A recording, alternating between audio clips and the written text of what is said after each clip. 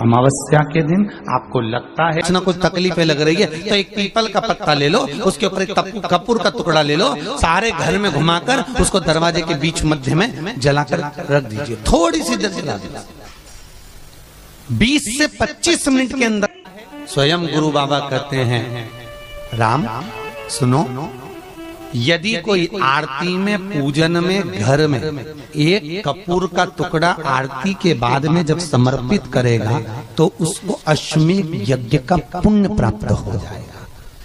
अश्वमेध यज्ञ के पुण्य को पाने के लिए कपूर का टुकड़ा आज भी आरती में जलाया जाएगा। आज भी? एक कपूर का टुकड़ा सुखा का। इसीलिए हमारे यहाँ शास्त्र कहता है महाराज, जब आपको घर में अगर ऐसा लगने लगे कि पंद्रह दिन से बहुत बेचैनी है, बहुत दुख तकलीफ़ लग रही है, कोई ना कोई बीमार पड़ रहा है, कुछ ना कुछ तकलीफें लग रही है तो एक पीपल का पत्ता ले लो, उसके ऊपर एक कपूर का टुकड़ा ले लो, सारे घर में घुमाकर उसको दरवाजे के बीच मध्य में जलाकर रख दीजिए, थोड़ी सी देर जला दीजिए। बीस से पच्चीस मिनट के अंदर मकान में एनर्जी वापस आ जाएगी, उस भवन में एनर्जी वापस प्राप्त हो जाएगी।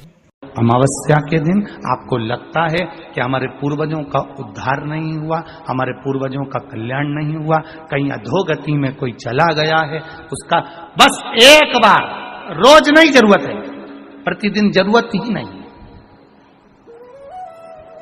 महीने में एक बार, अगर अमावस्या के दिन भी आपने चंदन के थोड़ा सा चंदन अगर मेरे देव अधिदेव महादेव को सात स्थान पर समर्पित किया है। अशोक यहाँ पर वर्णन कर रही है, मैना, धन्य और कला की कथा कर रही है। तीनों ने सनकाद ऋषियों से मांगा, चंदन भगवान को अति प्रिय होता है और चंदन ही एक ऐसा होता है जो पितरों को भी प्रिय होता है, जिसका स्पर्श मात्र लगने से पूर्वजों का कल्याण हो जाता है। वो चंदन सात स्थान शिवलिंग के बताए हैं, जहाँ पर भूल से भी अगर कोई चंदन की उंगलियाँ लगा देता है, सात स्थान ऐसे हैं जहाँ चंदन की मात्र उंगलियाँ लगा देने से ही शिव पितृलोक के पितरों को मुक्ति प्रदान करके बैकुंठ लोक का निवास दे देते हैं। सात स्थान।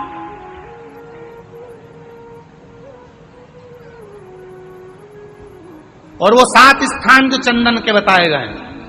पहला, भगवान देवादिदेव महादेव के शिवलिंग पर चंदन का लेपन।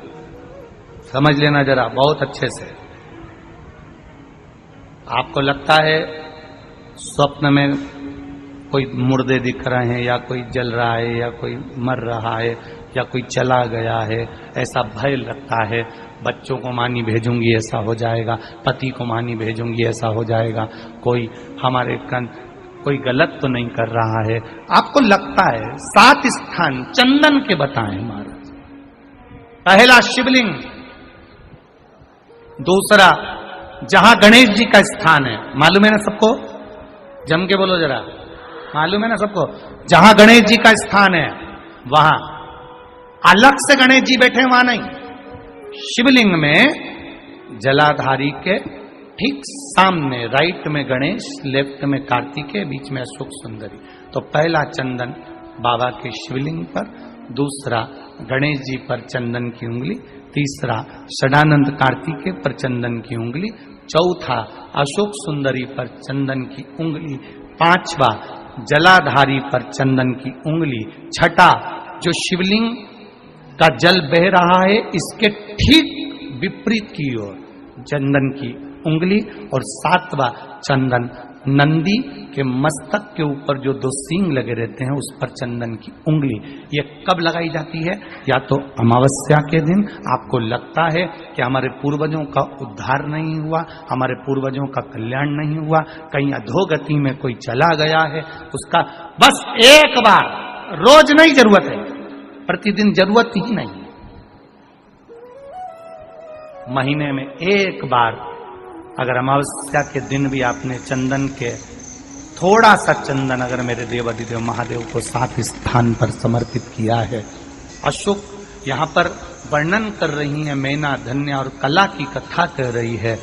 तीनों ने सनकादि ऋषियों से मांगा, चंदन भगवान को अति प्रिय होता है और चंदन ही एक ऐसा होता है जो पितरों को भी प्रिय होता है, जिसका स्पर्श मात्र लगने से पूर्वजों का कल्याण हो जाता है।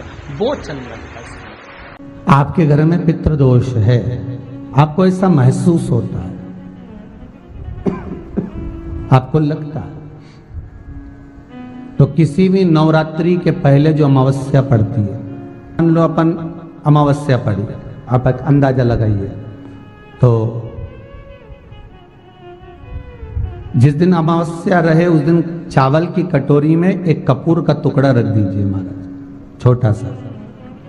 और कपूर का टुकड़ा रखकर उस कपूर को दरवाजे के बाहर, कटोरी में ही, चावल रखी हुई कटोरी में ही उसको पितरों का स्मरण कर कर जला दीजिए। और जलाने के बाद उस चावल को कहीं भी किसी भी वृक्ष की छांव में पक्षियों के लिए डाल दीजिए।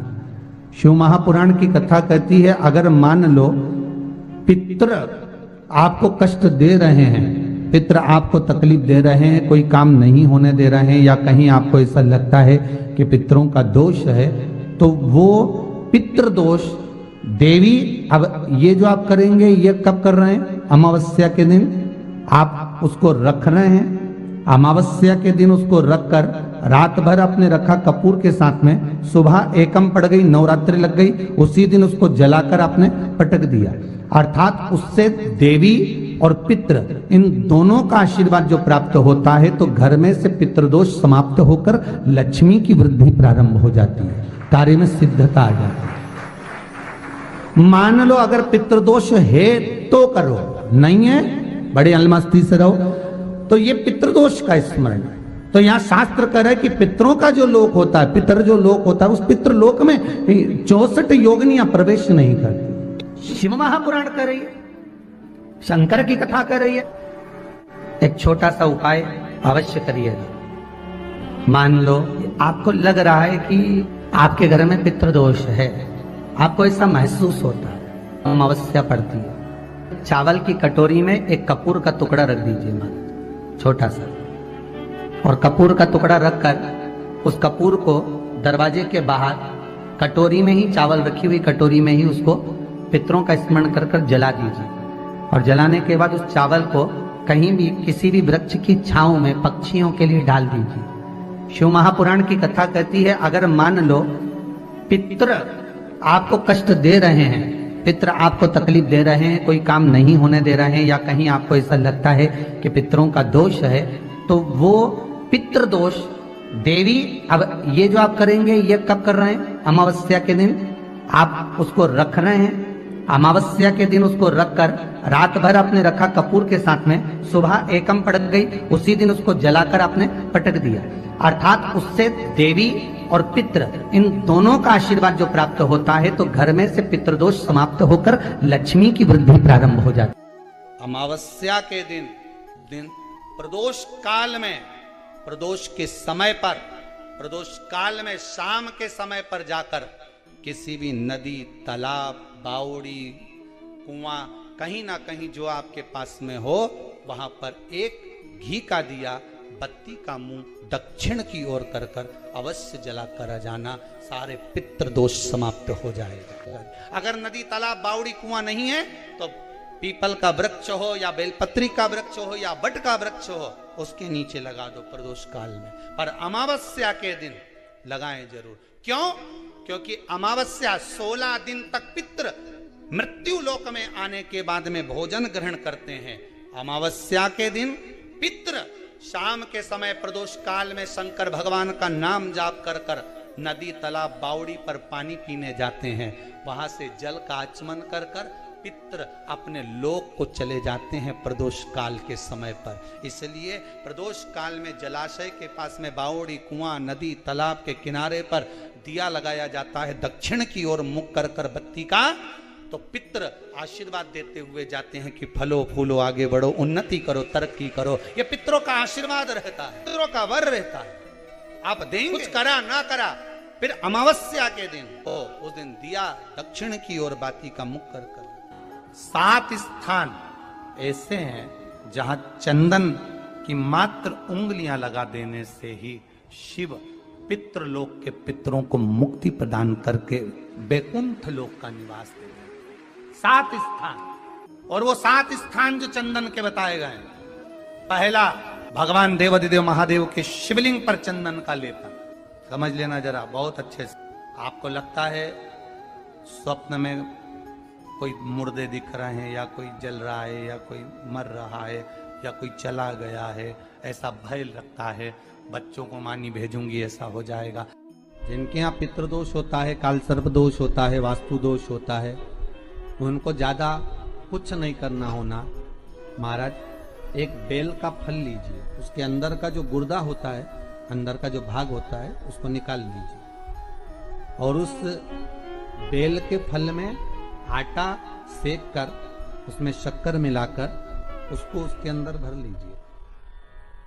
अमावस्या के दिन, सुबह दस बजे से पहले, उसको अपने घर में घुमाने के बाद में जिस, जिसको काल सर्प दोष बताया है पितृदोष बताया है, या वास्तु दोष का स्मरण बताया है, घर में सब दूर घुमाकर, अपने परिवार का हाथ का स्पर्श कराकर, पीपल के पेड़ के नीचे द खड्डा खोदकर उस बेलपत्र के उस फल को दाब दीजिए। महाराज, केवल एक अमावस्या करना रहता है। पितरों के दोष से मुक्ति मिलती है, और हमारे घर के कार्य सफल होना प्रारंभ हो जाते पति को मानी भेजूँगी, ऐसा हो जाएगा।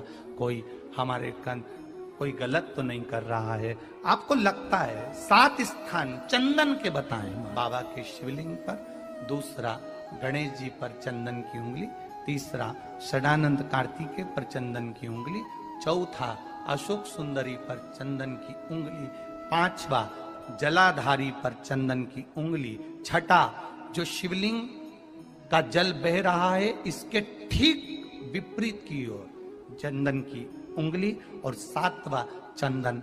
नंदी के मस्तक के ऊपर जो दो सींग लगे रहते हैं, उस पर चंदन की उंगली।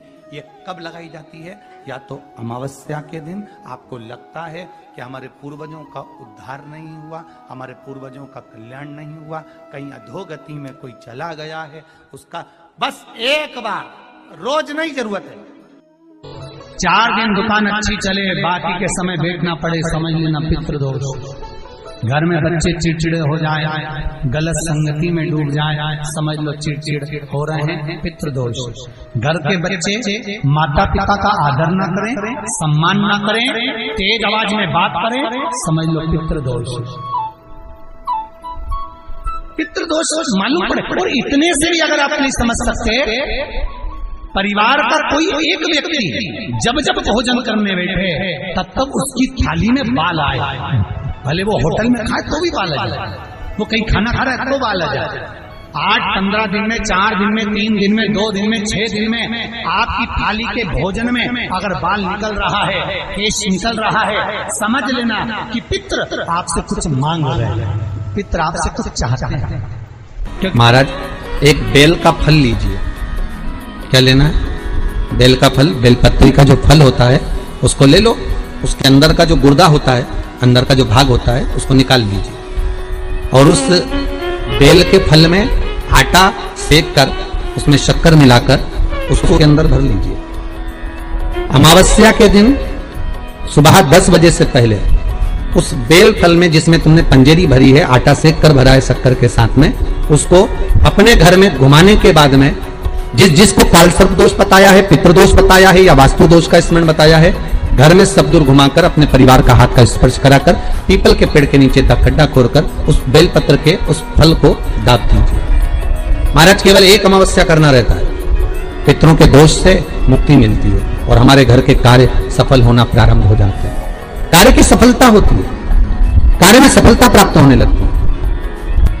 हम तो कई बार कहते हैं, महाराज जी, अगर ऐसा लगे किसी औषधि को आप ले रहे हैं, मालूम पड़े कि औषधि आपको लग नहीं रही है। शिव महापुराण की कथा करेंगे मान लो औषधि आपको नहीं लग रही। आपने औषधि बहुत दिनों से ले रहे हो। कोई दवाई, मान लो आप किसी भी दवाई को ग्रहण कर रहे हैं और वो औषधि लगी नहीं रही है, वो शरीर को लगी नहीं पा रही और आप ठीक ही नहीं हो पा रहे पंद्रह दिन हो गए, आठ दिन हो गए, बताओ, उतना की उतना ही कैटरीना है उतना ही उतना अपना भरा हुआ, वही की वही लीवर, वही की वही किडनी, वही की वही स्मरण, सभी कुछ वही वही है। उतना की उतना ही। बीपी भी ऊँचा नीचा चल रहा है, पर लेवल में नहीं आ रहा शुगर भी लेवल में नहीं आ रही। तो प्रयास करा करो महाराज। बेलपत्री के फल का जो गुर्दा है, अंदर का जो भाग है फल का, उसको पानी में गला लीजिए और प्रदोष की प्रदोष, कम से कम प्रदोष नहीं हो और बीमारी जरा दवाई लगी नहीं रही हो तो बिना प्रदोष के भी कर सकते हो। उसको पानी में गलाइए। आधा घंटा पानी में जैसे आपको सुबह मंदिर जाना है दस बजे तो सुबह स्नान कर कर कम से कम साढ़े छः सात बजे उसको पानी में गला दीजिए। और उस बेले के फल का गुर्दा से गला हुआ पानी, शिव जी को ले जाकर समर्पित कर दीजिए। महाराज। उस पानी में से थोड़ा सा एक चम्मच पानी शिव जी पे चढ़ा हुआ लेकर आ जाइए। उस पानी को जो बीमार व्यक्ति है, उसको औषधि देने से पहले मात्र आधी चम्मच से भी आधा चम्मच उसको दे दीजिए। भगवान शंकर का श्री शिवाय नमस्तुभ्यम का जाप कर कर उस पानी को देने के बाद अगर आप औषधि देंगे तो ये पक्का है कि औषधि अपना कार्य करना प्रारंभ कर देगी और वो स्वस्थ होना प्रारंभ होगा